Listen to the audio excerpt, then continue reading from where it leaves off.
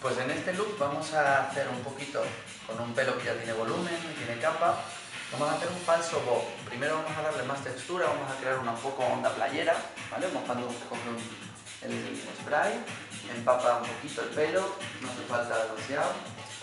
Exacto. Para darle un poquito de que sea más fácil.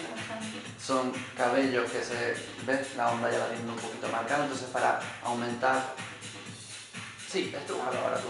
Exacto, que quede bien con bastante volumen. Perfecto. Exacto. Vale. Y para... ¿Ves? La onda ya está marcada, esto sería un efecto ya de onda playera. Quedaría ya... quedaría un poco onda playera. Pero para por la noche, por ejemplo, para continuar un poco de fiesta, vamos a crear un falso bob, que también está muy de moda, con las capitas más eh, superiores las vamos a dejar sueltas y vamos a simplemente, tú lo único que tienes que hacer es meter los dedos aquí atrás, girar el pelo hacia adentro y horquillarlo en la nuca.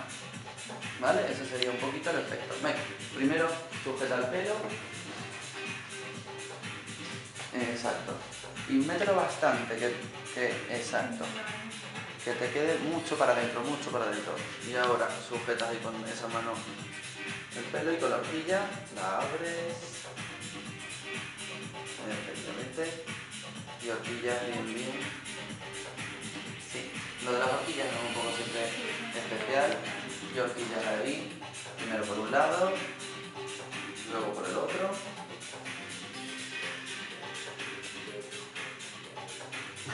te lo ayudo no, no, no, esto hay que hacerlo solo exacto para asegurarte si quieres, ponemos un par de horquillas más.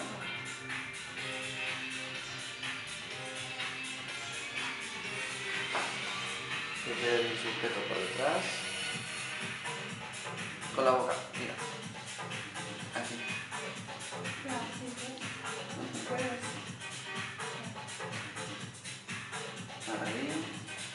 Lo mejor posible.